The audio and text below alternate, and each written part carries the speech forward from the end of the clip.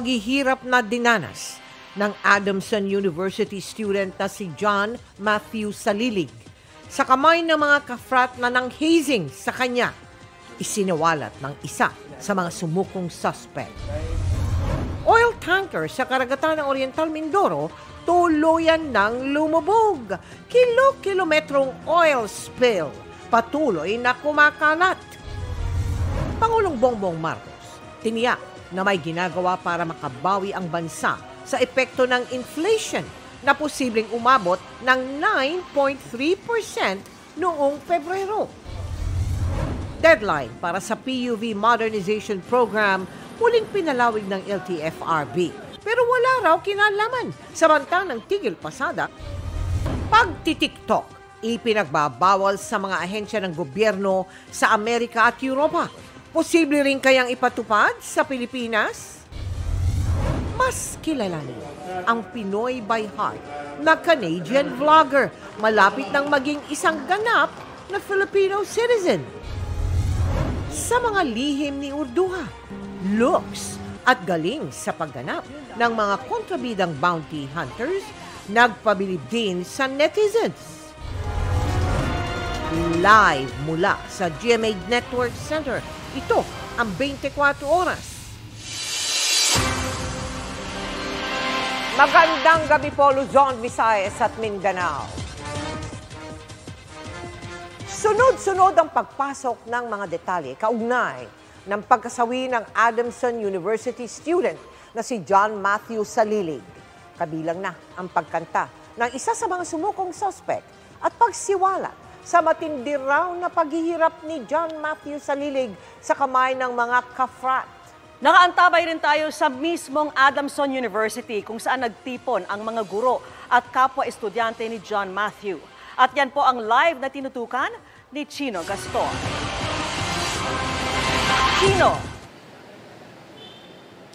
Mel Vicky Candlelight Vigil ang isinasagawa sa ngayon ng mga estudyante at guro ng Adamson University bilang pagdadalamhati sa pagkamatay ng third-year college student na si John Matthew Salilig na kanilang sinabayan ng dasal para sa pagkamit ng hustisya. Nagsuot ng itim ang mga estudyante ng Adamson University sa kanilang pagpasok sa universidad bilang pakikiramay sa pamilya ng nasawi nilang classmate na si John Matthew Salilig. Isang requiem mass ang hinalay din ng student government para ipagdasal ang kaluluwa ni Salilig. Ayon sa police investigation, namatay si Salilig sa ginawang welcome rites ng pinasukang Tau Gamma Phi Fraternity Adamson University Chapter. I'm sure He will certainly be happy seeing us, that we are one for Him. And we pray that justice will be served. So we condemn the, ano po, eh, the violence. Siyempre wala naman po talagang deserve na magkaroon po ng ganitong, ano, ganitong situation, lalo na estudyante, kapwa estudyante po namin yung nasawi. And we are just waiting po. Sana yung justice is makuha na natin. Nauna nang nagpahayag ng kalungkutan ng Adamson University sa sinapit ng kanilang estudyante. Nakikipagtulungan daw sila sa mga otoridad sa investigasyon sa nangyari. Panawagan nila sa ibang estudyante maging mapanuri at mapagmatyag sa lahat na ginagawa sa loob man o labas ng campus. Huwag din daw mag-atubili na kumontak sa pamunuan ng paralan kung nakakaramdam ng mga banta sa kanilang kaligtasan. Ah, medyo natatakot po. Kasi parang ang unexpected po nangyari. Kasi ah, nung po parang hindi mo naman po talaga inaasahan. Parang biglaan po talaga. Ah, nakakatakot din po. Kasi dahil po sa nangyari, minsan sumasakay din po ako dun kung saan siya nawala. Mabilis namang kinundi na at dumistansya ang iba't ibang chapter at sangay ng Tau Gamma Phi Fraternity sa insidente. Si Senador Joel Villanueva na miyembro ng naturang fraternity, sinabing ang hazing ay hindi bahagi ng kanilang paniniwala at ipinaglalaban. Hindi aniya nasusukat ang tibay ng samahan sa pagdaan dito at sa iba pang uri ng karahasan. Ang Tau Gamma Phi Provincial Council ng Cavite handa naman daw makipagtulungan sa mga otoridad. Vicky, nagtirik ng kandila at nag-alay ng dasal ang mga guro at mga estudyanteng dumalungas sa prayer vigil ngayong gabi na masusundan bukas ng isa pang requiem mass para ipagdasal ang kaluluwa ng kanilang namatay na schoolmate. Vicky. maraming salamat sa iyo, Chino Gaston. Tuluyan nang lumubog sa bahagi ng Oriental Mindoro ang oil tanker na may kargang 800,000 litrong industrial fuel oil. Bukod sa pinangangambahang pagkalat pa ng tumagas na langis, malaking problema rin daw ang pinaglubugan ng barko.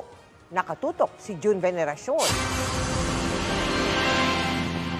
Sa haba nitong 6 na kilometro at lapad na 4 na kilometro, posibleng mas malaki pa sa ilang lungsod sa Metro Manila ang ikinalat ng oil spill na ito sa karagatang sakop ng Nauhan Oriental Mindoro kaninang umaga. Inaalam pa kung bahagi ito ng kargang 800,000 liters ng industrial fuel oil ng barko. Malalaman natin yan uh, within the day base po doon sa maging resulta ng uh, water sampling na ginawa ng uh, DNR at ng Coast Guard. Sinimulan ng kolektahin ang tagas alas 2 ng hapon kanina. Tukoy na rin daw ang pinanggalingan ng maitim, malapot at maamoy na oil spill sa bandang 7.4 nautical miles southwest ng Balingawan Point, Nauhan Oriental, Mindoro. Naglatag na rin ang oil spill boom para kontrolin ang pagkalat ito at pinakilos na lahat ng diver at eksperto ng Coast Guard para tumulong. Ito'y unprocessed and filtered so it would really affect the marine environment, lalo na yung ecosystem ng dagat at ma maaaring maapektuhan din, maapektuhan din yung nasa shoreline pagka ito'y tumagas. May isa pang malaking problema. Malalim ang pwesto ng lumubog na oil tanker. Sa report na nakarating sa Philippine Coast Guard Headquarters, nasa lalim na 460 meters ang pinaglubugan ng MT Princess Empress. Kapag ganun nakalalim, imposible na itong marating ng mga diver. At ang ganung lalim, meron ding dalang panganib sa integridad ng barko. Gaano kalalim ang 460 meters? Katumbas yan ng halos isa't kalahating Eiffel Tower. Malaking hamon dahil habang lumalalim, tumataas ang pressure sa ilalim ng tubig. Tulad na lang nung lumubog ang MT Sodor 1 sa Guimaras Strait noong 2006 na kailangang gamitan ng remotely operated vehicle o ROV dahil mahigit 600 meters ang pinaglubugan ng barko. Para ipakita noon ang epekto ng underwater pressure, inilubog ang bakanting cup ng noodles. Nang iahon, lumiit ito ng halos kalahati. Pressure, pressure sa ilalim. Maaring maapektuhan nga yung integrity ng barko. Maaring pwedeng bumuka yung, uh, halimbawa, yung mga compartment ng barko at uh, doon na magsimula yung tagas. Kasabay ng mga hakbang para paghandaan ang pinangangambahang oil spill, pinaiimbestigahan na rin ang sanhi ng paglubog ng MT Princess Empress. Pagka may negligence after ng investigation, there could be liability. Pero kung force majeure naman at mapatunayan na wala silang pagkukulang at nag-ingat naman sila at tanging yung weather ang nakaapekto, then walang liability. Ang dalawampung tripulante naman ng lumubog na barko na rescue ng International Cargo Vessel na MVFS na dumaong nasa Subic, Sambales alas 6.30 kagabi. Doon sila sinundo ng mga tauhan ng Philippine Coast Guard Zambales. Agad silang pinakain at pinasuri sa ospital. Nagpasalamat ang lahat ng nasagip sa crew ng International Cargo Vessel na sumagip sa kanila. Para sa GMA Integrated News, June Veneracion, nakatutok 24 oras. Sa gitna ng posibleng pagtaas ng inflation rate hanggang 9.3% nitong Pebrero, tiniyak ng Pangulong may ginagawa ng mga hakbang para makabawi sa epekto ng mabilis na pagtaas ng mga presyo ng bilihin. May pakiusap din ng Pangulo sa mga transport group, kaugnay naman sa ikinakasang Tigil Pasada kontra Modernization Program. At nakatutok si Ian Cruz. Ganitong mga tagpo sa ilang nakaraang transport strike ang gusto sanang maiwasan ng Pangulo. Yung mga pasahero po natin, tumabi lang po tayo ng konti. Kaya umasa siyang mapapakiusapan ang mga transport group na wag ituloy ang isang linggong transport strike laban sa phase-out ng mga lumang jeepney. Dahil kawawa talaga ang uh, tao at uh, marami pang uh, na naghihirap uh, at uh, hindi mas masalo pang maghihirap pag hindi makapasok sa trabaho. Pero sakaling matuloy ang strike, Bigyan natin sila ng uh, extra na, na uh, transportation, na public transport. mahalaga raw ang modernisasyon ng public utility vehicles ayon sa Pangulo pero higit na mahalaga raw na dapat hindi mabigat sa bulsa ang kanilang transition para lahat ng kanilang hanay ay makiisa sa programang ito. Isa pang layunin ng modernization, gawing ligtas ang mga pampublikong sasakyan. Sa bagay na yan, may ipinunto ang Pangulo. May luma naman na pwede pang gamitin. Tignan natin yung kondisyon. Eh, kung maganda mag-alaga yung driver, maganda yung jeep niya, di pwede pang gamitin yan, safe pa naman. Samantala, nilalakay din ng Pangulo ang bilis ng pagmahal ng bilihin kasunod ng taya ng Bangko Sentral na maaaring bumilis ito ng 8.5 hanggang 9.3% ngayong Pebrero. The other elements of inflation hindi natin masyadong mak- makontrol but uh, kaya kaya meron tayong ginagawang ganito para makabawi naman uh, doon sa pagtaas ng presyo. At kaugnay ng kagustuhan ng ilang mambabatas, nabigyan siya ng special powers para kontrolin ang presyo ng pangunahing bilihin. Sagot ng Pangulo, hindi na ito kailangan. I do not think that it is necessary already the power to declare an emergency and to control the prices of uh, of uh, commodities. That is sufficient. Binanggit niya yan nang bisitahin ng Urban Garden malapit sa Quirino Grandstand na gusto niyang magkaroon din sa bawat barangay. Version 2.0 raw ito ng Green Revolution program ng kanyang ama. Tumataas ang presyo ay si- sinasabi natin, "Diba, bakit hindi na ang, ang ating mga kababayan ay sila nang magtanim? Sinilip rin ng Pangulo ang mga paninda sa Kadiwa Store sa Luneta na mas mura kumpara sa merkado. Bago pumunta sa Batangas para rin bisitahin ang isa pang Kadiwa Store Batangas at isang pabrika ng sardinas doon. Para sa GMA Integrated News, Ian Cruz nakatutok, 24 oras. Mas tututukan na raw ng gobyerno ang malalaking sindikato para paigtingin ng polisiya kontra iligal na droga. Ayon yan kay Justice Secretary Boying Remulla sa pagharap niya sa Human Rights Council ng United Nations sa Switzerland. Pero may paglilinaw dyan ang DILG. Nakatutok si Salima Refra. Imbes na mga drug users ang mas punteryahin sa mas pinaigting nitong anti-drug campaign, may ibang mas tututukan daw ang pamahalaan. President uh, Ferdinand Marcos Jr. has already instructed us to look at the syndicates behind the drug distribution rather than the users and other offenders, minor offenders. Paliwanag ng Justice Secretary sa isang event ng UN Human Rights Council sa Geneva, Switzerland, marami kasi sa mga anyay street-level minor players ay mga biktima lang. Ang tawag ng Justice Secretary sa pagtutok sa mga sindikato o source. That is the shift of the policy of the Philippines. Pero paglilinaw ng Interior Secretary, hindi raw ito pagbabago ng strategiya. Mga big fish ang hinuhuli natin. Of course, we're going to focus on that. Pero ito lang sabihin ko, lahat ng klaseng droga, kay maliit, kay malaki, bawal yan ayon sa batas. Huli kayo, kaya tigilan nyo na yan. Pagpapatuloy lang raw ito nang nasimulan na ng PNP na laban kontra sa mga sindikato kung saan maski mga kabaro sa serbisyo hindi nakaligtas. I think the record will speak for the PNP. We have had about close to 11.3 billion as of now in terms of achievement. Pinakamalaki eh, sindikato to ha, is about 990 kilos. Kaya nga nagtawag tayo ng call for resignation eh. Sumunod yung 243, sindikato rin yun. Para sa GMA Integrated News, Sanima Refra, nakatutok 24 oras. Matapos ang apat na taon, pinawalang sala na sa kasong iligal na droga ang magpinsang inaresto sa Tagig dahil sa pakete ng shabu na pinalabas daw na nakuha sa kanila. Ang mga pulis na humuli sa kanila, sangkot umano sa mga modus na tanim droga at hulidap. Nakatutok si Emil Sumangil, exclusive. Kuha ito sa paglapit ni na Patrolman Misael Rubi at Patrolman Billy Joe Cometa sa magpinsang Jay at Jake, hindi nila tunay na pangalan. Kinapkapan at kinuhaan daw sila ng cellphone noon bago isama sa presinto. Iniimbitahan lang daw po yung pinsan ko. Uy, bakit daw? Wala, wala, hindi po na Wala sinasabi? Wala po. Taong 2019 pa ito, pero naging simula ng kalbaryo ng magpinsan na inaresto dahil sa sachet ng iligal na droga na pinalabas daw na nakuha sa kanila. Meron ba? Talaga? Wala po. Nagdodroga ka ba o yung pinsan Hindi mo? po. Nagulat din po ako eh. Kasi drug test po kami, negative naman po kami. Si Jay na isang PWD, hiningan pa raw noon ng mga pulis nang ibinebenta niyang sabon. Pinagparty-partyan niya din.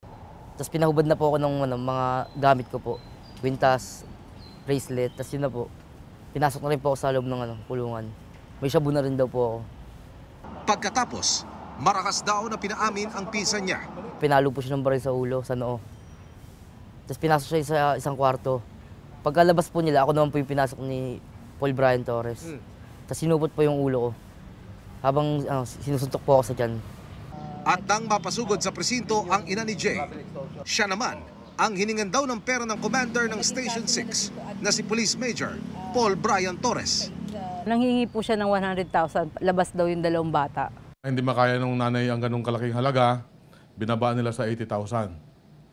At hindi pa rin makaya, nagkasundo sila sa 69,000 pesos.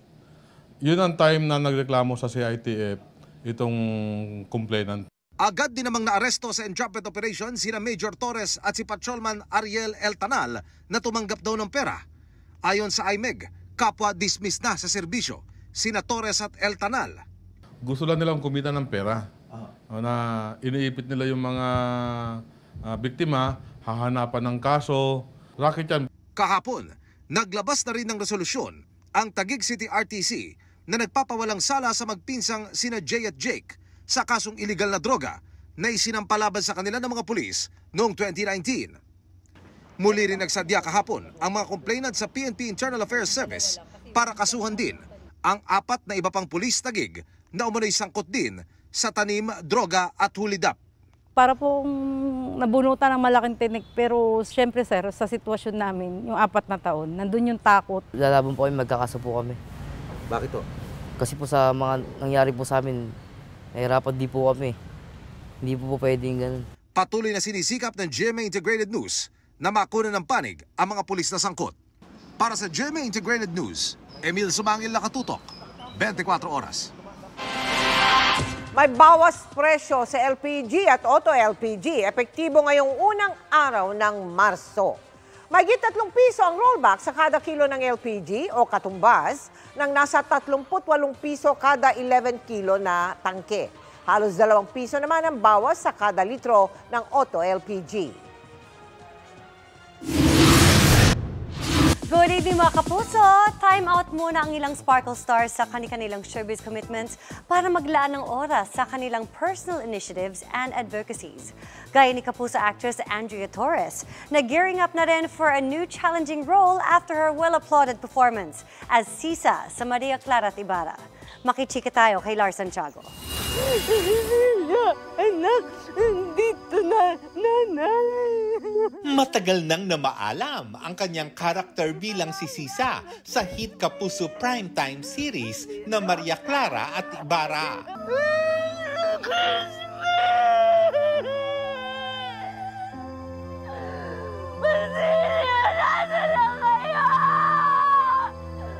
Pero hanggang ngayon, laking pasasalamat pa rin ni Sparkle star Andrea Torres sa mga natanggap niyang papuri sa kanyang pagbigay buhay sa iconic character na likha ni Gat Jose Rizal. Hindi ko hindi sa mangyayari lahat ng to, kaya nakakakilabot din uh, for me and parang nakakatuwa lang yung thought na kapag talaga pinush mo yung sarili mo, mas mas fulfilling siya. Mas you will gain more. Ngayon, isang mapanghamong papel ulit ang kanyang gagampanan sa bago niyang series. Super excited ako and ngayon palang pinaghahandaan ko na rin. Ano ulit siya, very challenging role na kinakailangan din ng effort na aralin talaga ng gusto.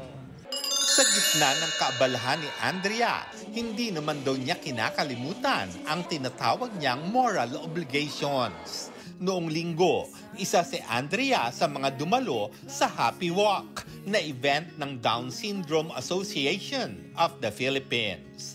May kapatid si Andrea na may Down syndrome. Ito talagang ang lagi kong gustong um, abutan ng um, ng help every time na merong mga contest sa GMA, ganyan, or anytime na may pagkakataon. Kasi nga, nakatulong sila ng sobra sa family namin. Uh, when, when we met them, nung bata pa si Kenneth, talagang ang laking gaang po na meron kami nakakausap na ibang parents, ibang families, may nakakahalubilo si Kenneth na mga Down syndrome din.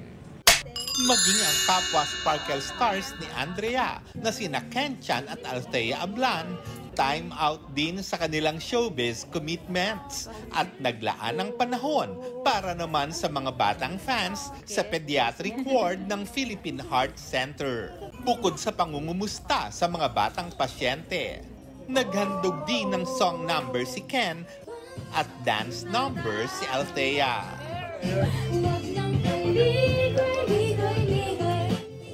Lar Santiago updated sa showbiz happenings. Susunod, motibo ng Amerika sa pagpapatayo ng mga bagong EDCA sites na pinaplano umano sa Northern Luzon. Inusisa ng Senado. At mula sa pagpapakilig, Sofia Pablo at Allen Ansay, ano naman kayang atake sa bago nilang proyekto? Tutukan lahat ng yan dito lang sa pagbabalik ng 24 oras.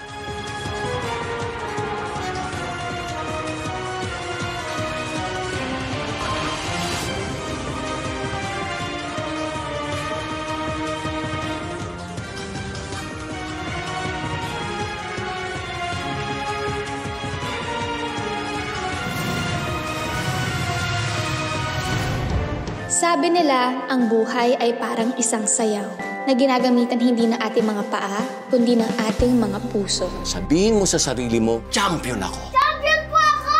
Ano mang dahilan at para kanino, isa lang ang sisiguro ko. Sumasayaw tayong lahat dahil nagmamahal tayo. Malapit nyo nang malaman ang aking kwento.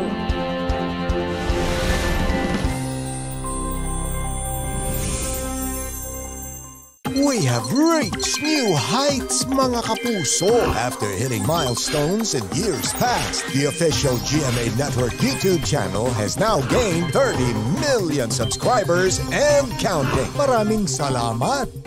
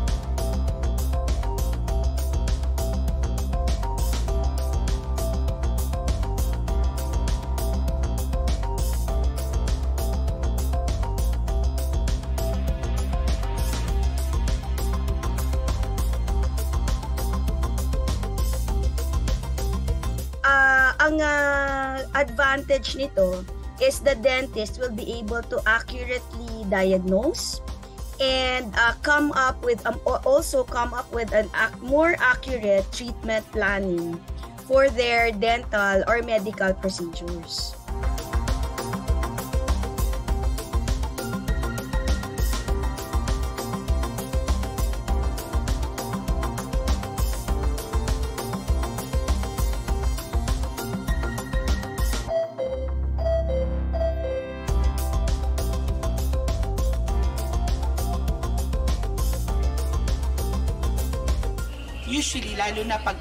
Complicated yung case, malapit siya sa mga mandibular. Yun po yung tinitignan natin na pag na-hit, magkakaroon ng numbness ang patient. Usually, kita yun sa CBCT. So we even trace the mandibular canal pathway pagka CBCT ang ginamit compared sa 2T.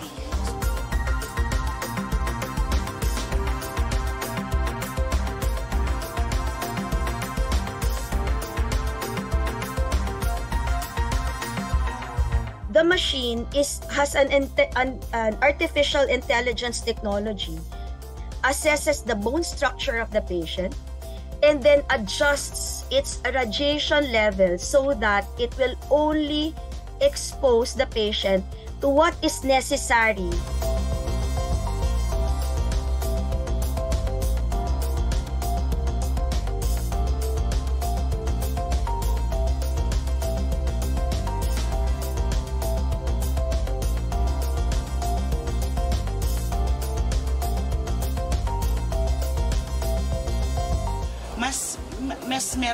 precautionary measures at mas, mas maiintindihan ni pasyente kung ano yung risks or benefits na ma- mapapagdaanan niya.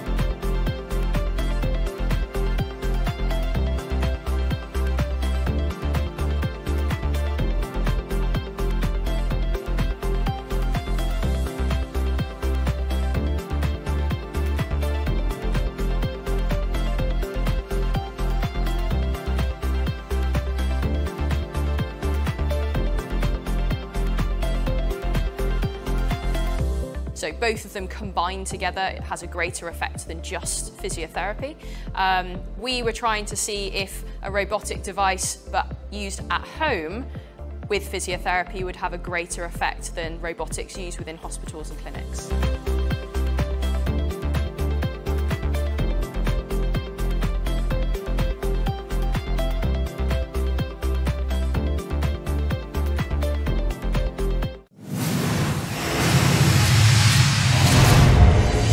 May update po tayo sa mga ibinulgar ng isa sa mga suspect sa pagpatay sa Adamson University student na si John Matthew Salilig, gayon din sa latest sa SUV kung saan siya isinakay. Isiniwalat ng isa sa mga suspect na matindi ang paghihirap na dinaanan ni John Matthew sa kamay ng kanyang mga kafrat. Tinutukan niya ni John Consulta.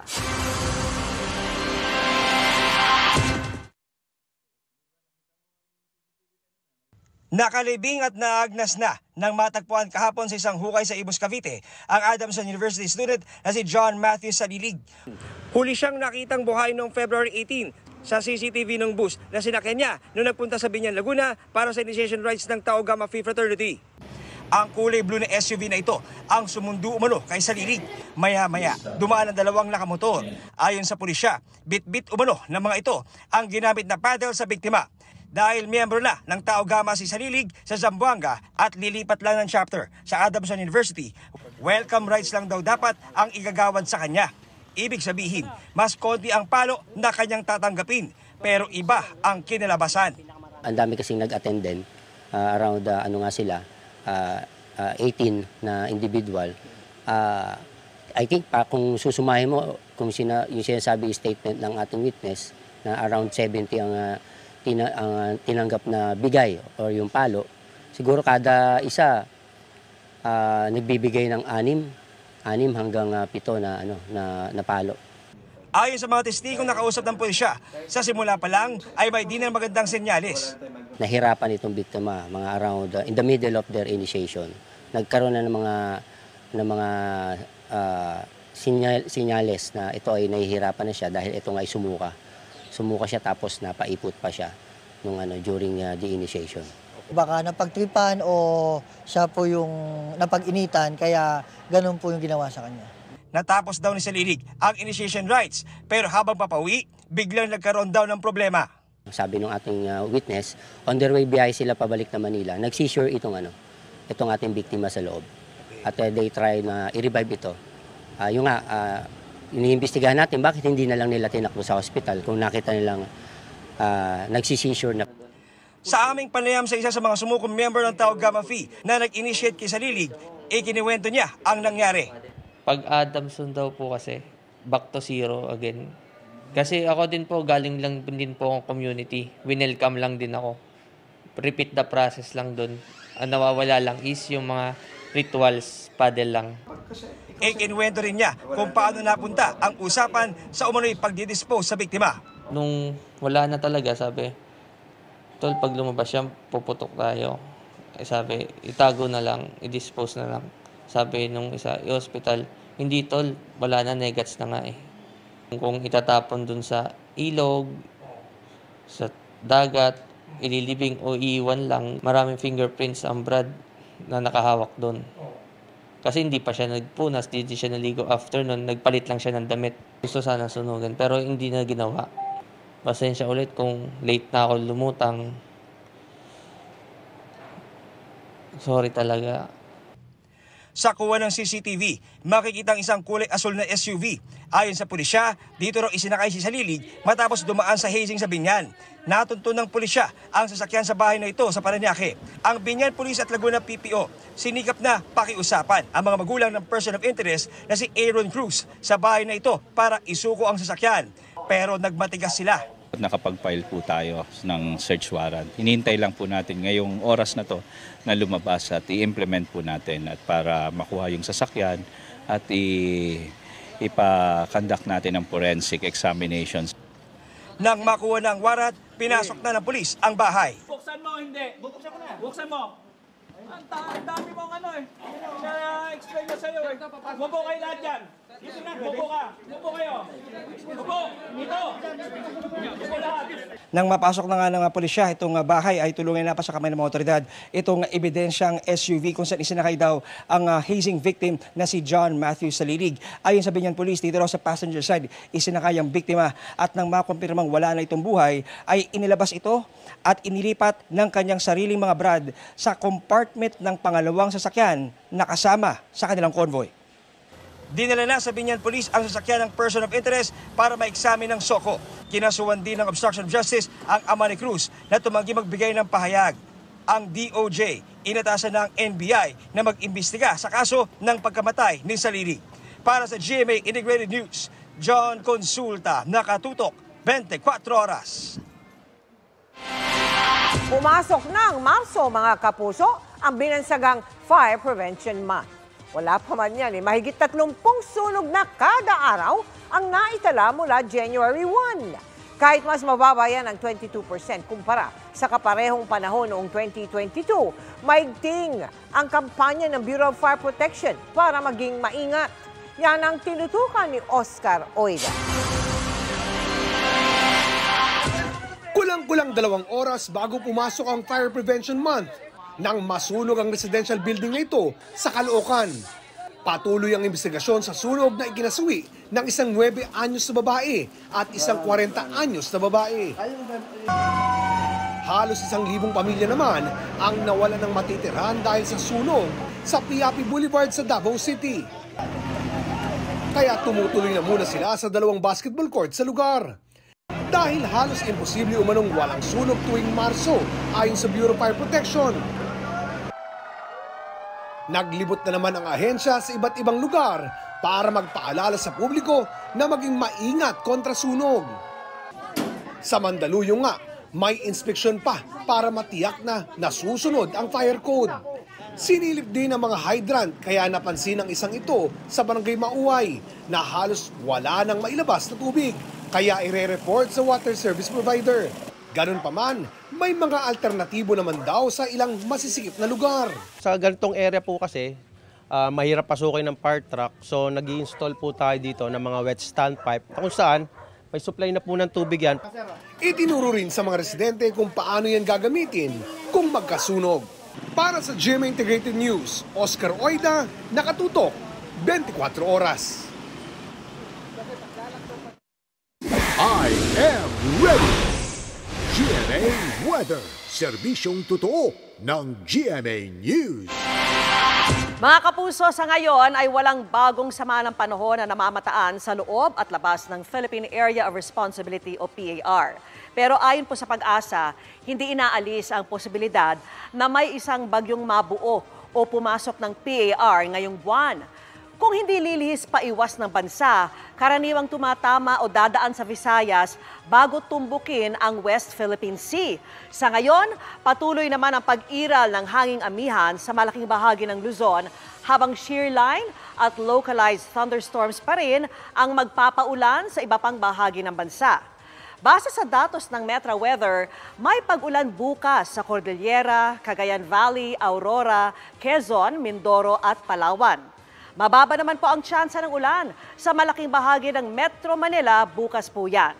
Sa Visayas, kalat-kalat na ulan ang inaasahan sa maraming lugar pero unti-unti ang mababawasan sa hapon. Uulanin din ang Mindanao lalo na po sa hapon. May matitinding ulan kaya maging I am ready po ha sa banta ng baha o pagguho ng lupa. Babala pa rin sa mga mangingisda o may maliliit na sasakyang pandagat, magiging maalon sa ilang baybayin ng Luzon, pati sa eastern seaboard ng Visayas at Mindanao. Imbis na Hunyo, iniurong na sa Disyembre ang deadline sa pag-phase out ng mga lumang jeep, UV Express at Multicab. Pero sabi ng LTFRB, walang kinalaman sa desisyon ang bantang Tigil Pasada. Nakatutok si Joseph Moro. Noong isang linggo lamang ang sabi ng LTFRB hanggang June 30 na lamang at wala ng extension ang itinakda nilang deadline para sa Public Utility Vehicle Modernization Program. Pero ngayong araw, sabi ng LTFRB, muli nilang pinapalawig ang deadline at ginawa ng December 31. Ayon kay LTFRB Chairman Atty. Chofilo Guadis III, alinsunod ito sa utos si Transportation Secretary Jaime Bautista at pahayag ni Pangulong Bongbong Marcos na dapat may baguhin sa implementasyon ng modernization program. Paggalang na rin daw ito sa Senate resolution na nananawagan sa LTFRB na ipagpaliban muna ang June 30 na phase-out ng mga tradisyonal na Jeep at UV Express. To allow the transport sector more time to consolidate.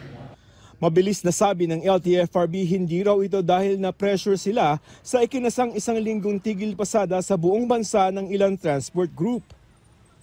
There is no pressure for us for the strike because more than 90% of the uh, transport groups have signified their support to the uh, program. Kanina, pinulong ng LTFRB ang mga lider ng iba pang transport group para makipagdialogo. Wala sa pulong ang grupong Manibela na nasa likod ng Tigil Pasada. Kahit in-extend na ng LTFRB ang deadline at ginawa na itong December 31, ayon sa grupong Manibela na nasa likod ng Tigil Pasada sa susunod na linggo, tuloy pa rin daw ang kanilang kilos protesta. Nakahanda na kami eh uh, gusto rin naming iparamdam sa kanila kung ano talaga yung pinaramdam nila sa amin sa loob ng mahigit anim na taon. Hindi namin uh, tinututulan ang gagawing uh, tigil pasada ng Manobela. Nirirespeto po namin ang anumang gawain o hakbangin ng ibang sektor tungkol sa kanilang pinaglalaban. Pero alam din daw ng grupong Manibela ang panawagan ng Pangulo na huwag ituloy ang tigil pasada. Kinukonsidera po namin yan, sir. Sino ba naman kami? Uh, Pangulo na po yung nakikiusap sa atin. Umaasa ang grupo na makikinig ang LTFRB sa kanilang mga panawagan na mabago ang ilang probisyon sa Public Utility Vehicle Modernization Program. Tulad halimbawa na payagan pa ring bumiyahe ang mga hindi naman masyadong lumang unit ng tradisyonal na jeepney. Pero kung maayos pa at matibay pa, sana wag mo nang palitan. Yung sabi ni Presidente, yung mga na-rehab na, nagsimula ng ma-rehab yung mga sasakyan, sana ipagpatuloy pa yung pagbiyahe. Ayon naman kay Guadis, kasama yan sa pinag-aaralang pagbabago sa Memorandum Circular base sa sinabi ng Pangulo. Para sa GMA Integrated News, Joseph Morong, nakatutok 24 oras.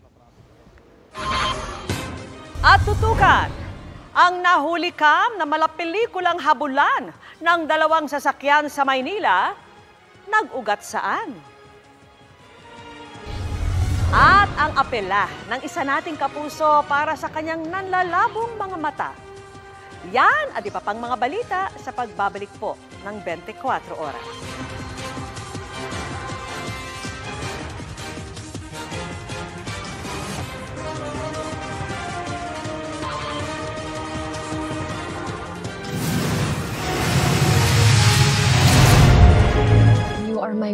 My princess. I cannot imagine my life without you. Loving and understanding mother. Ako yon. Pero pag nakikita ko na nagkakagulo na ang mga anak ko, hindi ako basta-basta tatahimik lang. Rosil, ano ba? Hindi siya yung anak mo! I will get to the bottom of it at aalamin ko kung sino ang gustong sumira sa pamilyang pinipilit kong mabuo. Nagbabalik na ang nag-iisang prinsesa ng drama, Camille Prats. Arabella World Premiere March 6. Our story is like no other. Dahil ang kwentong ito ay hindi about happily ever after. It's about what happens after happily ever after. Kung pwede kong isulat muli ang aking kwento, hindi ko na sana siya sinundan. Hindi na dapat ako dumating sa buhay niya. Hindi na sana ako nandamay pa ng iba.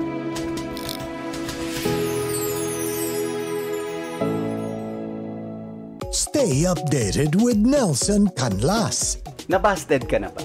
No. Oh, ako with confidence ha. The online source for anything showbiz. Teka muna Ray ha, meron akong sorpresa sa iyo. Hello? Oh, ay!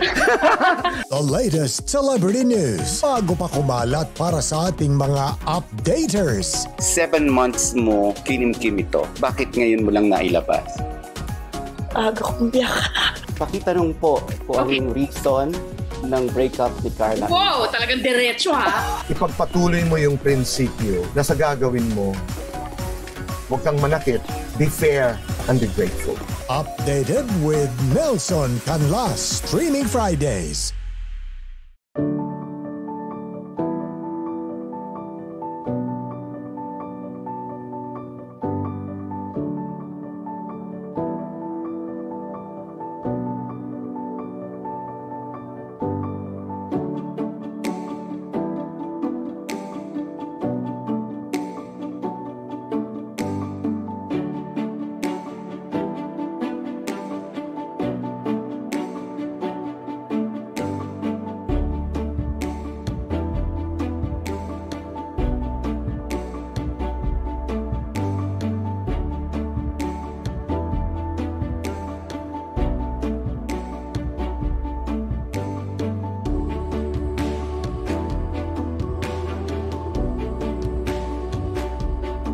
Lagi kong dinadasal araw-gabi. Sana gumaling na ako. Sabi ko, pag gumaling ako, tutulong talaga ako sa tao. Tamang-tama, dumating tong pandemic na to. Nakita ko sa yung mga tao dati, halos walang makain, hindi sila makalabas ng bahay. So, sabi ko, ito yung perfect timing ah, para tumulong sa mga tao.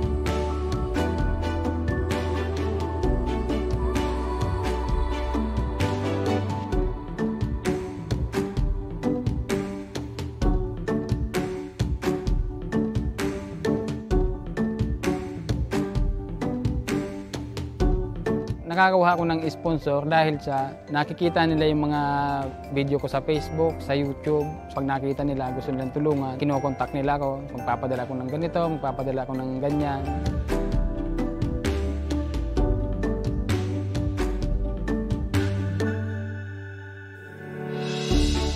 Guys, dito daw sila natutulog. Tapos andito yung butas. Pag umuulan, dito lang yung tulo. Mahirap tong kalagayan nila na to.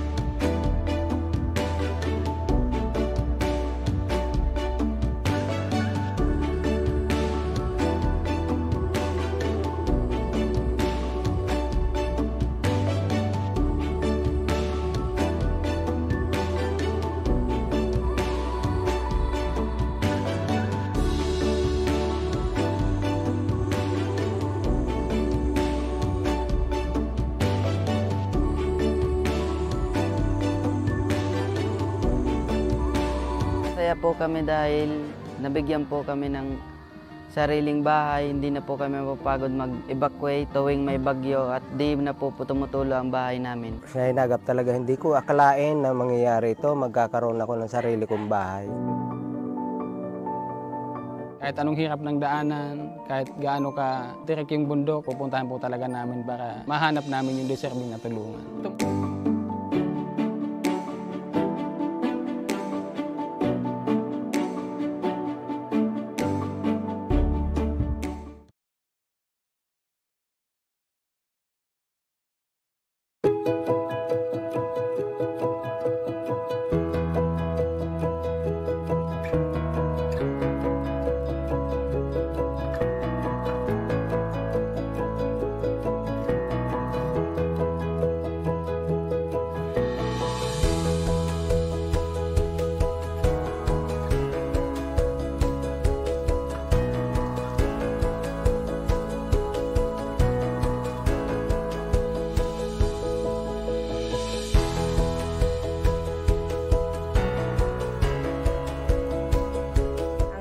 thinking ko, bata pa ako, hindi ko siya papansinin, aalis ako. So, iiwas ako sa kanya. Kasi grade 4, grade 4 lang ako nun. So, wala pa sa utak ko yun. Ang nasa isip ko nun, maglaro.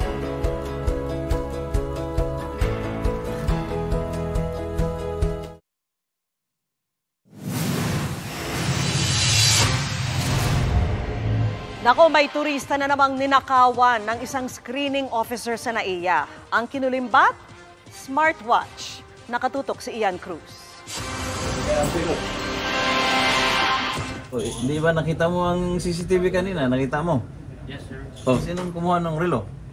Ah, hindi ko po masabi, sir. Hindi mo masabi, ikaw ang kumuha ng relo eh. Galit na kinumpronta ni Yusek Mawa ang administrator ng Office for Transportation Security, ang security screening officer na si Valeriano Rica Plaza Jr. habang nakakulong sa tanggapan ng Aviation Security Group malapit sa NAIA Terminal 1. Ito'y kasunod ng reklamo ng isang Chinese tourist na nawala ang kanyang smartwatch nang dumaan sa final check ng NAIA Terminal 1 kaninang madaling araw. Nang i-review ng Aviation Security Group at Airport Police ang kuha ng CCTV, na booking si Rica Plaza. Naiwan ng Chinese sa tray yung kanyang ah, relo ano. Para hindi mahalata ang ginawa natin ng SSO natin, parang tinakpan agad ng isang ah, tray sa itaas. At ah, binuhat niya yung tray, siguro tinabi at ah, doon na niya binulsa yung ano. Pero kita-kita po sa CCTV na siya po ang nagbulsa ng ano, ng relo. So, di naman po ako yung kumuha, sir. May iba po kinuha yung gloves ko po, sir. Pero bakit nawala yung ano, yung watch nung Chinese? Um, di ko na po alam yung sa part niya, sir. Matapos ang kaduda-dudang insidente dito sa NAIA Terminal 1, agad humingi ng saklolo ang OTS sa PNP Aviation Security Group kaya naman nadakip agad ang suspect. January slash ka, ikaw inaaresto na, inaaresto namin sa salang theft. Ikaw ay may karapatang manahimik at magsawalang kibo. Pero hindi na-recover ang smartwatch ng Chino hanggang makaalis ito pa Hong Kong. At hanggang ngayon, hindi pa nalolocate ang relo. Ang insidenteng ito ay kasunod lang ng nabuking na pagnanakaw umano ng pera ng ilang security screening officer sa isang Thai passenger sa NAIA Terminal 2 noong isang linggo. Sana hindi ito ang kultura. Ilan-ilan lang ito dito sa ating ano, sa ating hanay kaya yung aming pong ah, pangako sa taong bayan na gagawin namin lahat, ah, we will ag- address this ah, issue more aggressively this time. Ipagaharap ng kakulang reklamo sa Pasay City Prosecutor's Office, si Rica Plaza. Para sa GMA Integrated News, Ian Cruz nakatutok, 24 oras. Madamdami ng pag-alala ng mga kaanak at kaibigan kay John Matthew Salilig na hindi raw dapat nasawi sa kamay ng mga itinuring niyang kapatid sa frat. Hamon nila sa mga nasa initiation rights. Lumutang kayo at humarap sa batas. Tinutukan niya ni Marisol Abduraman. Palabiro, karinyoso, baby ng pamilya. Ganito isalarawan ni John Michael Salilig ang bunsong kapatid na si John Matthew, estudyante ng Adams University na namatay matapos umanong sumailalim sa welcome rites ng Tau Gamma Phi Fraternity. Matt, we love you, Matt.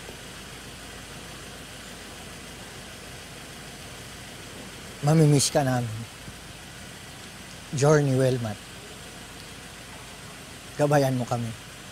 Masakit daw sa pamilya ang nangyari, pero mas masakit daw na sa kamay ng mga itinuturing din nila mga kapatid na matay si John Matthew. Bukod kasi kay Matt, miyembro rin ng Tau Gamma Fraternity si John Michael at isa pa nilang kapatid. Mahirap, masakit, ah, nakakagigil, pero ah, hindi ko nga na majority. The, the only, yung, yung council na sino pong gumawa sa kanya yun, yun lang po talaga yung ano, Hindi rin makapaniwala ang ama nila sa sinapit ni John Matthew. Napakasakit daw na sa isang iglap namatay ang anak na puno pa man din ng pangarap.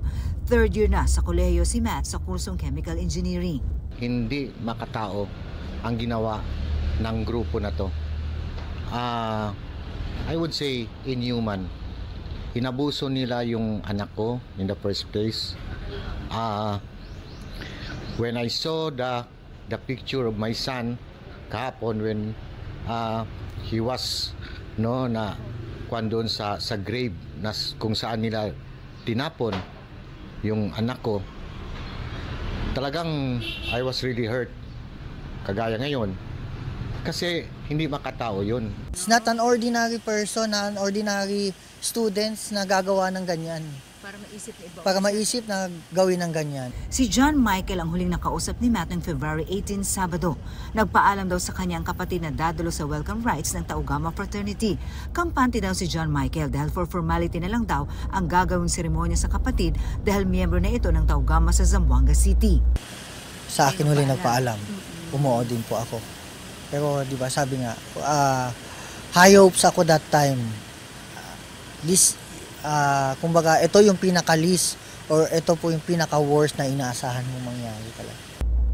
Pero hindi na raw niya nakausap ang kapatid hanggang may nag-chat daw sa kanila itong nakaraang Sabado ng gabi na inakala pa raw nila nung una na dami account lang. May specific name na sinabi na doon daw ginawa yung venue sa bahay doon sa Binyan and then pagkatapos sa bahay sa Binyan okay pa pagkaalis bumigay yung kapatid ko ang sabi tumirik around 2 a.m. nilibing na sa Cavite. Kanina, may nakatirik ng kandila sa hukay mismo kung saan nakita ang bangkay ni John Matthew. Isa raw sa inaalam ng mga otoridad kung merong mga persons of interest na taga Cavite. Kasi ano to eh, il- ilang na lugar ba? Hindi ano ma'am. Um, kung hindi ka taga dito, hindi mo talaga malalaman to lugar na to. Sa gitna ng investigasyon sa nangyari, hustis ang hiling ng mga kaanak at kaibigan ni John Matthew na umaasang lulutang na rin ang iba pang kasama sa initiation rites ng gabing yun. Para lang isang animal na nilibing basta-basta. Po, Hostisya po talaga. Sana lahat kung sino lahat ng lahat ng ano mga suspect diyan sana managot. Mag-work talaga kami hard para makamit yung justice na for him. Ganyan. Hindi niya kasi deserve talaga na babuyin pa. Like, hindi niya deserve. Para sa GMA Integrated News, Marisol Abduraman, nakatuto 24 oras. Inusisa sa Senado ang motibo ng Amerika sa hiling umano nitong ilagay sa Northern Luzon ang ilang bagong EDCA sites kung saan pwede itong magpasok ng mga gamit at tauhan. Para raw ba ito sa West Philippine Sea o sa tensyon sa China at Taiwan? Tinutukan yan ni Mav Gonzalez. Sa nabalitaan ni Senadora Amy Marcos, sa Cagayan, Isabela at Zambales daw ilalagay ang karagdagang lugar na isa sa ilalim sa Enhanced Defense Cooperation Agreement o EDCA. Ito yung kasunduang magbibigay daan sa paggamit ng Amerika sa mga military facilities ng Pilipinas. Ang tanong ng Senadora, bakit daw puro sa Hilagang Luzon ang mga lugar na ito? Inaamin po ba natin na yung Taiwan ang siyang pakay tinutukoy nito at hindi yung deterrence sa West Philippine Sea at yung pagtatanggol ng lupain na Pilipino? Ma'am, I cannot, ano, I cannot uh, categorically uh, answer the, the question. The four sites still on negotiation. Uh, we might change uh, the locations depending on the the the agreement that we, we we might having with the security sector. Pero hindi tinanggap ng Senadora ang sagot ng DND. What is our fight with Taiwan? I don't understand. No, ma'am. We're, we're, I- I'm So not why are we saying- doing all the military exercises in northern Luzon? The new expanded EDCA is addressing the escalation of tensions in the Taiwan Straits, not Philippine interests in the West Philippine Sea. We are therefore going to fight for another country, the United States. Is that correct, sir? The totality of our complete uh, preparedness to to collective defense and also to disasters. Because considering that the Philippines is uh, the most vulnerable on climate change, uh, we will try to, to to look at it at the uh, comprehensive and strategic Umalma rin daw kasi ang mga lokal na pamahalaan sa norte rito, kabilang si Cagayan Governor Manuel Mamba. The solution to regional tensions is not military. Solutions to regional tensions will only end badly for us who are not involved in this show of might between two superpowers. The only military forces we want in Cagayan are members of the armed forces of the Philippines. Sabi pa ni Mamba, kung disaster response daw ang layunin ng EDCA, bakit wala naman silang naramdamang tulong ng Amerika nung baghin sila noong 2018? But their rights came in no, through yung mga Federation of Chinese Chamber. Papadala sila ng rights kung ano-ano. Ang dami nila binibigay sa amin during our disasters. They are our neighbors. Please, do not let us uh, uh, uh, tell them that they are uh, our enemies because of the United States of America. Let them, let them have their own war. Hindi rin daw kinonsulta ang mga LGU ukol sa EDCA. Sa ngayon may limang EDCA site sa bansa kung saan may mga proyekto ang gobyerno ng Amerika na nagkakahalaga ng mahigit 80 million US dollars. Tanong ni Senadora Marcos, bakit magdadagdag tayo ng apat pa kung ni hindi pa tapos ang mga proyekto sa naunang limang EDCA sites at hindi rin daw ba magiging military targets ang EDCA sites? The, the security environment is evolving. As, we- as we speak, nagbabago po yung landscape. And it's important that we are abreast with what's happening. And that's why we have to prepare accordingly. Ang sabi ng ibang senador, dapat maging maingat dahil baka nagagamit lang ang Pilipinas. Pag-isipan natin mabuti ito because I'm a chess player and I know the use of a pawn. Kaya mag-ingat po tayo rito. Sabihan niyo yung Amerikana, kayo, halata masyadong move ninyo eh, na gusto niyo Northern Luzon, lagyan ng uh, additional EDCA sites. Maalala lang namin yung Pilipinas, kayo ngayong may problema sa Taiwan.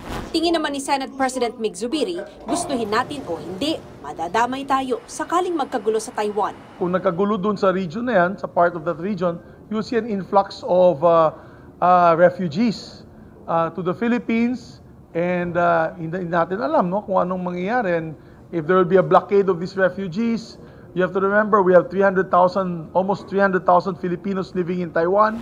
Para sa GMA Integrated News, Mav Gonzalez, nakatutok, 24 oras. Huwag palampasin. Social media app na TikTok. Ibinagbawal ng ilang gobyerno sa abroad.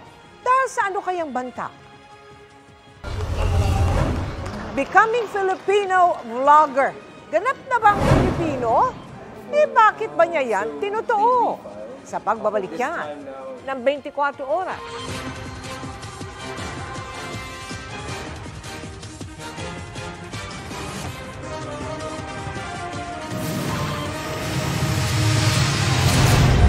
Yeah, yeah,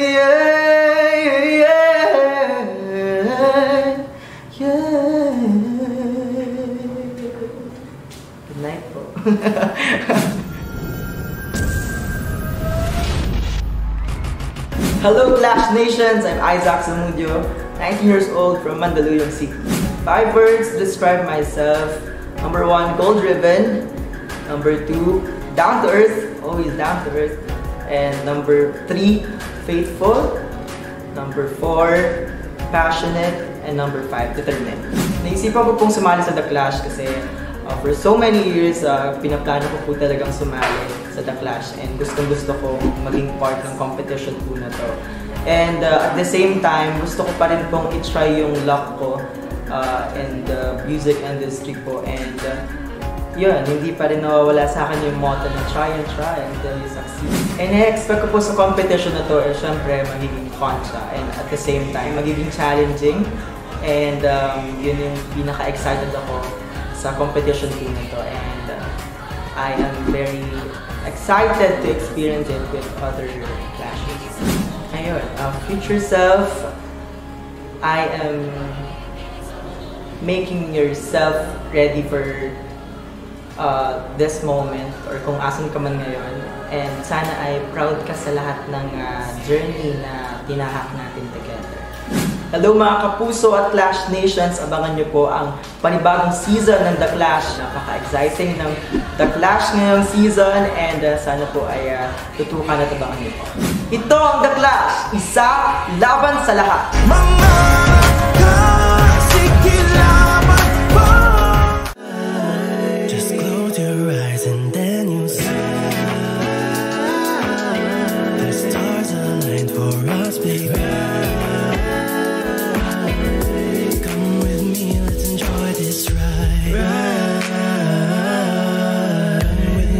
let's enjoy this ride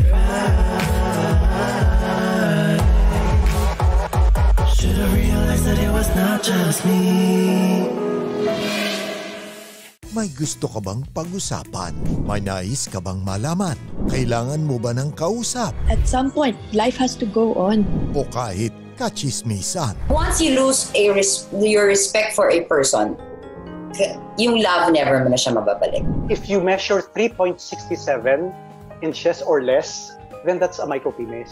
Do you really have to go through all these roles before you focus on yourself? Kapuso, kahit ano pa yan, ishare mo lang. Kasama si Dr. Ana Tuazon. Nasaan ka man, nandito kami. Makikinig at makikipagkwentuhan. Email us at sharekolang at gmanews.tv. Dahil sa buhay, lamang ang may karamay. Hashtag share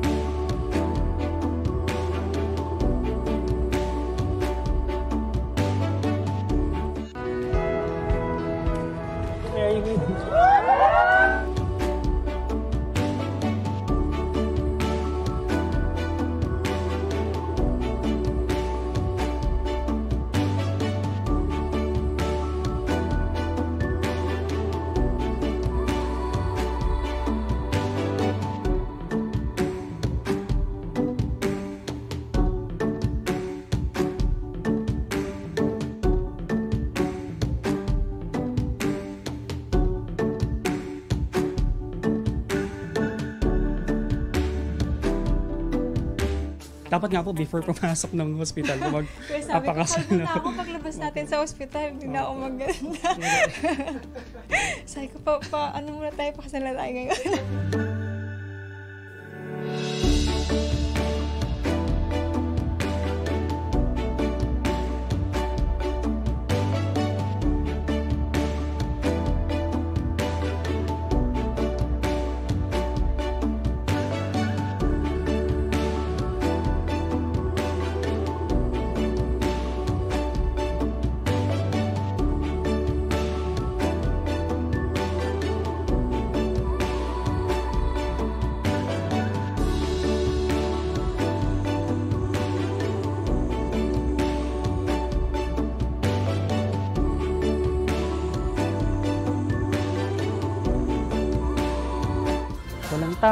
Sitwasyon yung makakapagbabago.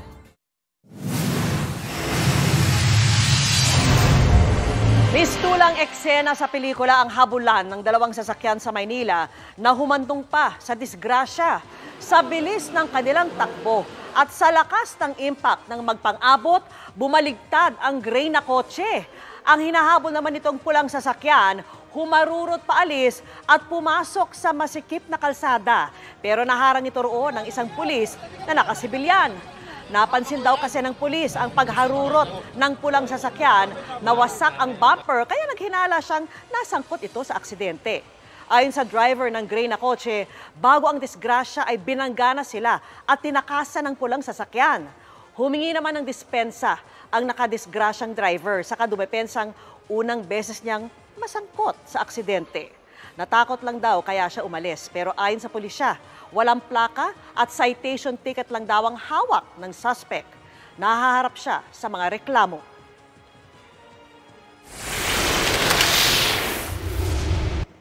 Labing dalawang taon na ang nakalipas nang maantig tayo sa kwento ng magkakapatid na pare-parehong may kakaibang kondisyon sa mata. Sa tulong ng ating mga volunteer doctors na operahan sina Royal Dan at Raven. Pero ang bunso nilang kapatid si Kim, sinisipat-sipat pa rin ang kaunting liwanag na nakikita. Ang bawat bukang liwayway ay sumisimbolo ng panibagong pag-asa para sa labing apat na taong gulang na si Kim Flores. Pag-asa na balang araw, makikita niya ng malinaw ang ganda nito. Una nating nakilala si Kim noong 2011. Isa siya sa tatlong magkakapatid na Flores na na-diagnose na may congenital hereditary endothelial dystrophy. Ito ay inborn na nagiging parang cloudy o parang mapusyaw na bughaw yung mga corneas. Dahil may pagka-cloudy yung cornea or malabo, no, hindi makapasok ng maayos yung ilaw. Sa tulong ng ophthalmologist na si Dr. Tonton Pascual at iBank Foundation, matagumpay na napaoperahan ng kanyang panganay na kapatid na si Royal Dan noong 2012 at si Raven naman 2017 nang sumailalim sa corneal transplant. Ooperahan na rin sana noon si Kim, yun nga lang nauudlot dahil madalas siyang magkasakit. Kaya gaya ng kanyang mga kapatid, araw-araw ipinagdarasal ni Kim na sana balang araw mapaoperahan na rin siya. Hirap at halos abuti na rin daw kasi siya ng madaling araw sa kanyang pag-aaral. Pinipicturan po yung mga ibabasa ko kaya isulat ko po. Tapos, i-zoom ko na lang po para sulatin or basahin. Mahapti yung mata, ah, nagluluha. Kasi yung parang irritated siya sa araw. Kaya muling panawagan ni Kim. Sana po mapera na ako para yung mga gusto ko pong gawin, magawa ko na. Sa mga nanonood po, sana po tul- matulungan niyo po ako. May pag-asa pa kayang luminaw? Ang nanlalabong pangarap ni Kim? Abangan ang pagpapatuloy ng kanyang kwento. Sa mga nais tumulong kay Kim, maaari pong magdeposito sa aming mga bank account o magpadala sa Cebuana Luwilier. Pwede ring online via GCash, Shopee at Lazada. Marami pong naaliw sa TikTok pero sa Amerika, Canada at Europa, bawal na yang i-install sa mga smartphone na inisyo ng gobyerno. Pinangangabahan daw kasing nagagamit ito sa pang-espiya. Tinutukan niya ni JP Soriano. Mula sa viral videos ng iba't ibang usong sayaw hanggang sa mga usong trends, filters at moments. Isa sa pinakasikat na social media app sa mundo ang TikTok.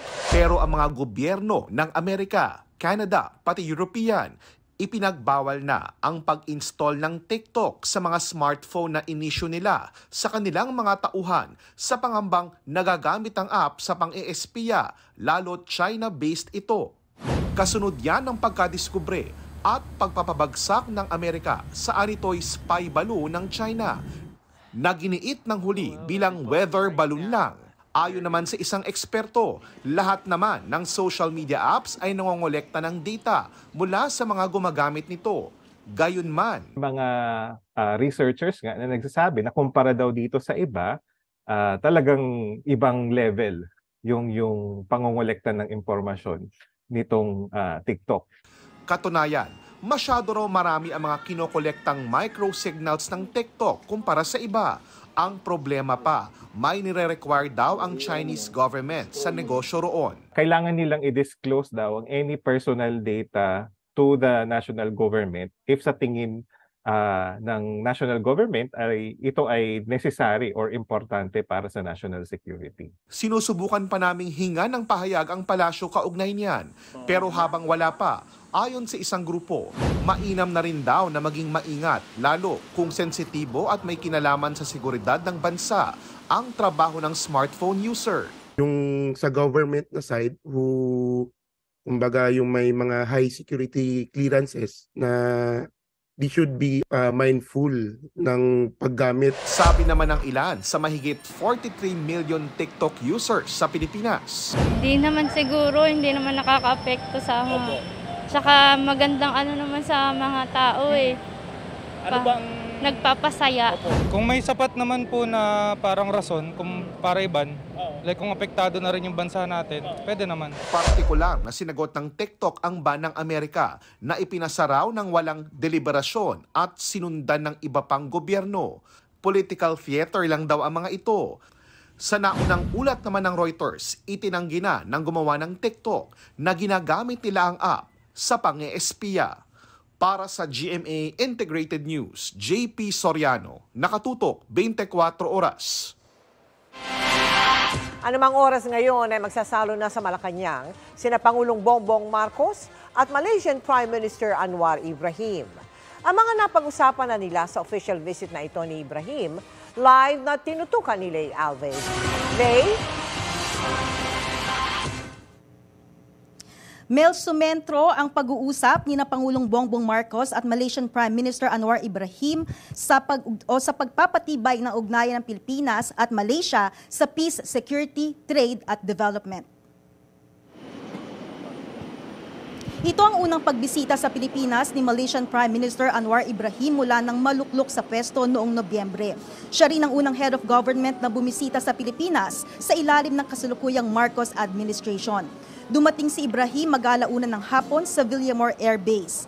Bandang alas 4 ng hapon naman, nang salubungin siya ni Pangulong Ferdinand Bongbong Marcos Jr. sa palasyo ng Malacanang kung saan ginawaran siya ng military honors.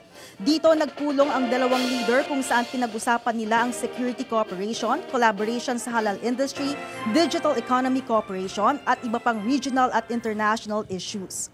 Bilang magkaratig bansa, kinilala ng magkabilang panig ang kahalagahan ng pagpapanatili ng peace and order sa rehiyon, kabilang ang paglaban sa transnational crimes at terorismo. Sinundan ito ng bilateral meeting ng mga opisyal ng Pilipinas at Malaysia. Ayon sa Ministry of Foreign Affairs ng Malaysia, ang pagbisita ng kanilang Prime Minister ay sumasalamin sa magandang ugnayan ng Pilipinas at Malaysia. Ayon sa, Pali- o, ayon sa Malaysian Prime Minister, una siyang bumisita noon sa Malacanang bilang batang agriculture minister noong panahon ni Nooy Pangulong Ferdinand Marcos Sr. Nitong nakarang taon, ang Pilipinas ang 15th largest trading partner ng Malaysia, ikalima naman sa mga bansang kasapi sa ASEAN. As immediate neighbors, the Philippines and Malaysia recognize the importance of maintaining peace and security in our region. As such, we agreed to continue our cooperation on political, political and security matters, rekindling the joint commission meetings and joint initiatives to combat transnational crime and terrorism. Now, the peace process in Mindanao. I must express again my profound thanks and gratitude. This has been a century long um, contentious issues that invariably affect the region and in particular Malaysia too.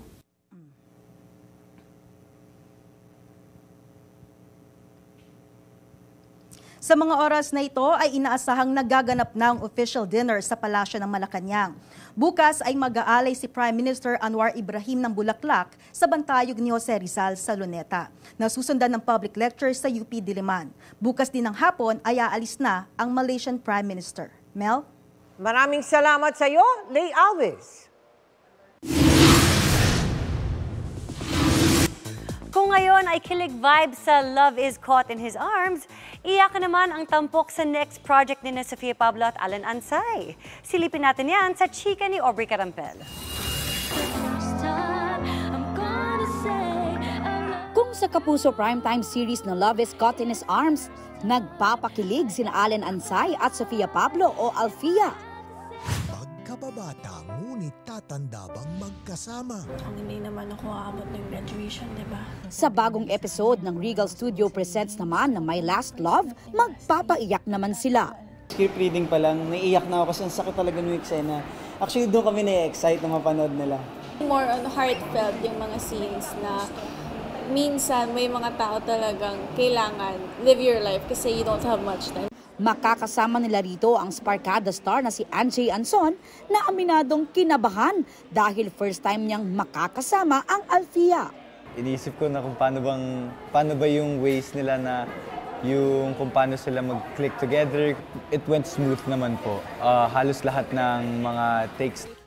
Sa taping, kinasabot pa ng Alfia si Anjay para i-prank sina Sean Lucas at Vince Maristella na gumaganap na Ferrell Brothers sa Love is Caught in His Arms. Na ano kasi ako tol, na aksidente ako. Nabali yung pa ako, men. Tinawagan sila ni Anjay dahil kailangan daw niya ng kapalit para sa kanyang role. Pero bago pa mataranta sina Sean at Vince, ni-reveal na nila na... Bagong gising po! Ang masayang kulitan na yan ng cast for sure daw ay mamimiss ng fans, lalo pat huling linggo na next week ng Love Is.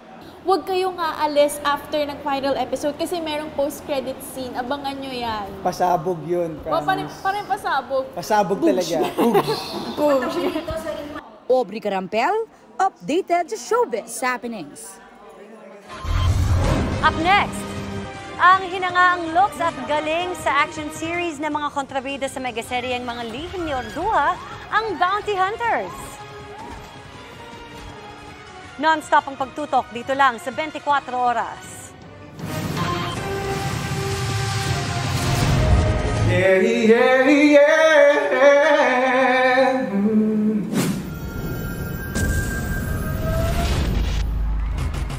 Hi, Class Nation. I'm John Rex Bacufo, 27 years old from Caloocan City. I describe myself as a passionate person, um, a lucky one, a hardworking one to kind and a sweet person. Naisip ko kung sumali ng The Clash kasi um, bata pa lang po ako, kumakanta na ako. Pero um, huminto ako for many long years sa singing kasi um, nasabi sa akin ng parents ko na it's not for me. Uh, kailangan kong maghanap ng work na provide sa akin for the future. The thing is, bumabalik-balik ako. Bumabalik yung puso ko, um, ako mismo sa singing. Kahit na tinanggal ko siya sa buhay. So, um, gusto kong patunayan na hindi lang um, sa mga sa family ko, um, kundi sa maraming tao na nai-inspire ko na um, meron akong talent na dapat ipakita sa buong mundo. Na-expect ko po na magiging mahirap ang labanan kasi The Clash po to eh. So, um, alam natin na andyan lahat ang mga gagaling na singers. So, yun na po, mahirap pero sana um, kayanin ko at ma-enjoy naming lahat ng mga kasali sa The Clash. To my future self, Rex, kaya mo yan. Um, gawin mong makakaya mo. Um, alam ko na everyday ginagawa mo talaga lahat-lahat. And I know kung ano man ang mangyari, at least binigay mo yung 200%. Alright, Clash Nation, please do follow me, my journey here in The Clash. I'm Rex and sana masamahan niyo ako hanggang dulo ng The Clash, hanggang nandito ako. So, sana po masuportahan niyo kita-kita tayo guys. Ito ang The Clash, isa laban sa lahat.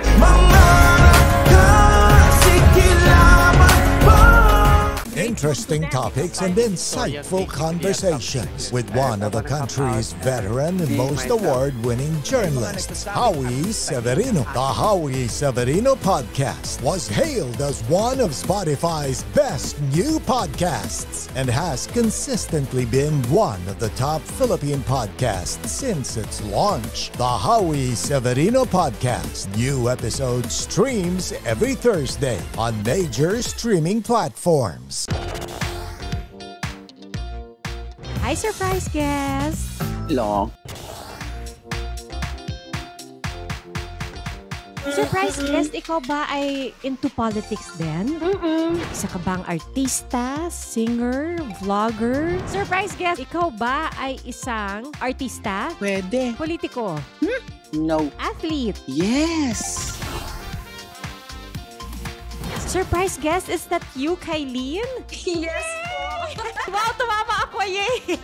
Bye. Igan, grabe ka! Congratulations on your new program! Ate V!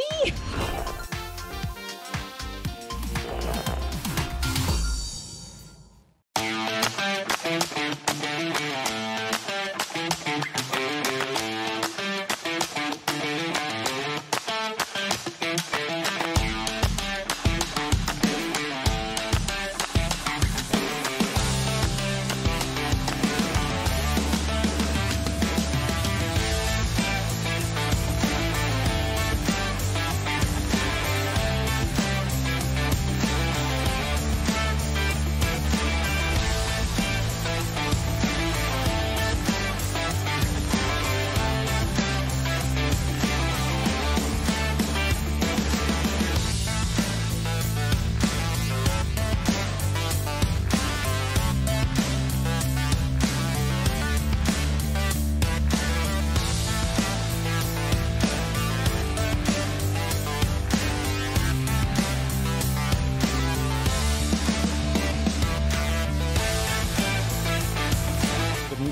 captures more carbon than it emits.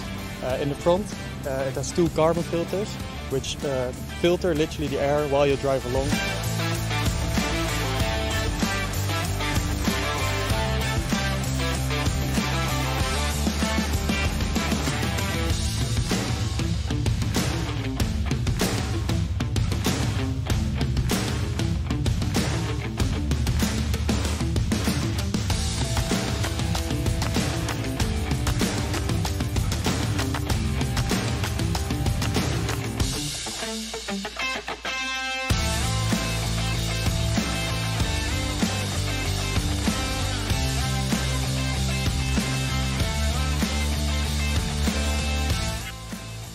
Final goal is to uh, actually inspire the industry. Uh, we want to see our car uh, hopefully completely be adopted by the industry. And yeah, the, the dream goal is of course to see it being produced.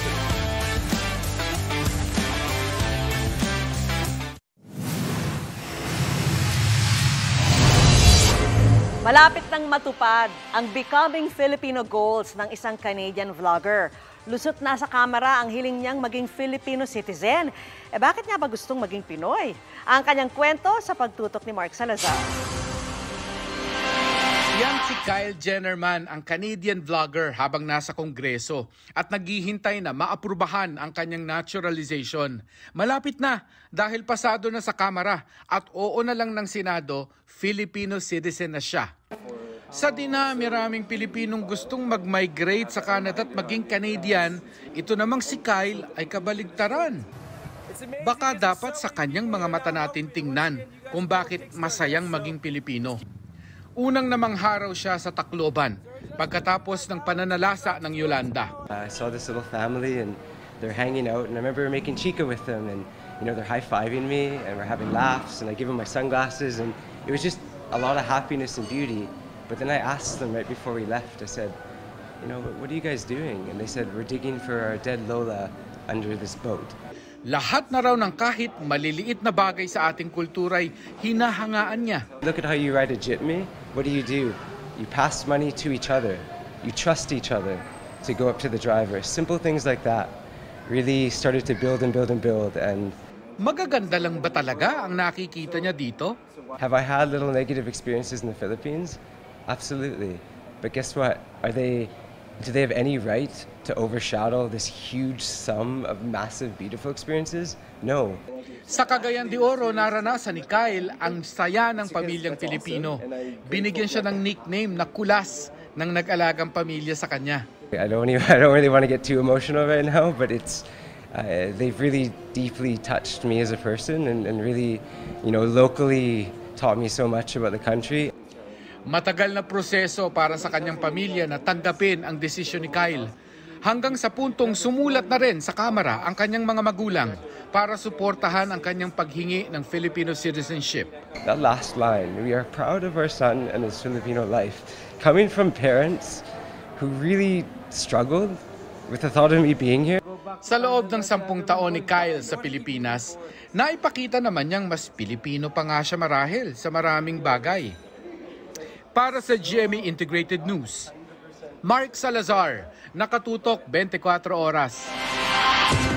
Inamin ng komite sa Kamara na hindi nito malilimita lang sa mga probisyong pang-ekonomiya ang pagbabago sa konstitusyon, kahit ito lang ang prioridad. May hakbang din ito kaugnay na magkaibang paraan ng charter change na isinusulong nila at ng Senado. Nakatutok si Tina Panganiban Perez. Tinalakay na sa plenaryo ng Kamara ang House Bill 7352, ang panukalang magpapatupad sa resolusyong magpapatawag ng Constitutional Convention para amyendahan ang 1987 Constitution. Prioridad daw ang economic provisions, pero may inamin ng kumiteng humahawak sa issue. So dun sa debate nyo kagabi with um, Congressman Lagman, lumabas that uh, the CONCON can propose any amendment. That is correct. We cannot prevent them. Sa panukala, bubuuhin ng KONCO ng mahigit dalawandaang delegadong ihahalal kasabay ng barangay at SK elections ngayong Oktubre at mahigit anim na pong ia-appoint na delegado. Bagamat di pa aprobado ang mismong pagkasa ng KONCON, aprobado na ng Kamara ang budget para rito, kabilang ang bayad na 10,000 piso kada araw sa bawat delegado. Kakausapin daw ng Kamara ang Senado, lalo't Constituent Assembly o CONAS ang isinusulong ni Senador Robin Padilla na chairperson ng komiteng humahawak sa pagbabago ng konstitusyon. Kung CONAS hindi na magtatalaga ng mga delegado, kundi mga kasalukuyang mambabatas na rin ang babago sa konstitusyon. We will be able to talk to our counterparts. There is even more mistrust if it will be Congress proposing amendments because it will be self-serving. Ayon sa House Committee on Constitutional Amendments, hindi minamadali ng Kamara ang tsa Maliban daw sa tatlong dekada na itong pinag-uusapan, nagsagawa rin daw sila ng konsultasyon sa publiko at hinahayaang makipagdebate ang mga kontra. We allow all, all of our colleagues who would wish to interpolate, to interpolate so that we can clarify more questions. Para sa GMA Integrated News, Tina Panganiban Perez, nakatutok, 24 oras. Mula sa acting hanggang sa looks and props, spot on ang mga kontrabidang bounty hunters sa megaseryeng mga lihim ni Orduha. Kaya naman ang viewers lalong na-excite sa mga susunod pang eksena. Yan ang chika ni Aubrey Carampel.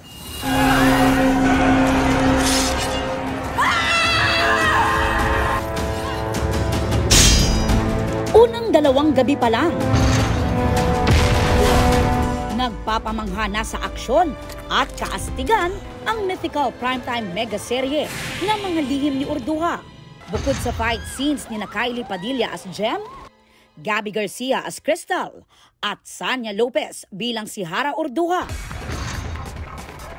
Kinatutuwaan na rin ng netizens ang look at pagganap ng bounty hunters.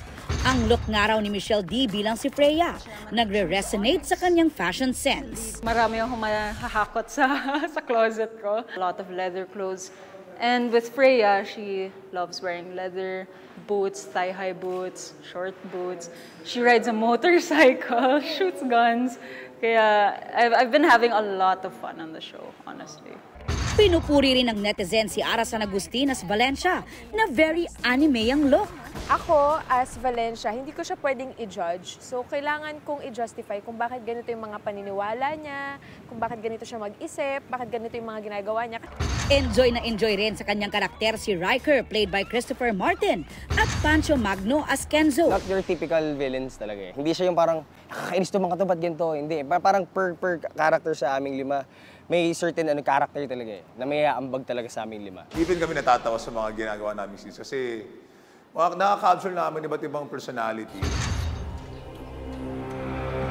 Pero beyond the looks, the props at camaraderie, ang leader ng mga bounty hunter na si Vin Abrenica bilang si Onyx, pinupuhunanan daw nila ng dugot pawis. Mapaganda lang ang kanilang action scenes.